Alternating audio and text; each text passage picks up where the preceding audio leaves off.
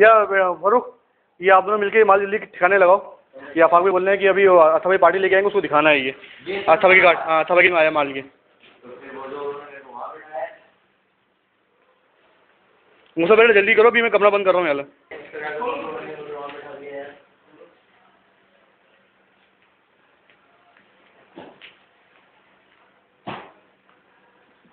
मुझे तुम अबे तो मैं तो पीछे खड़ा था तो अच्छा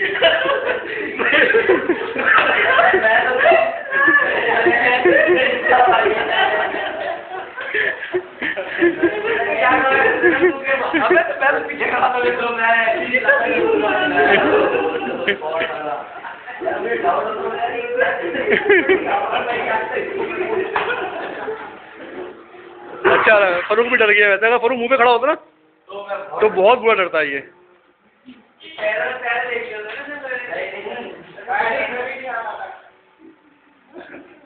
मैं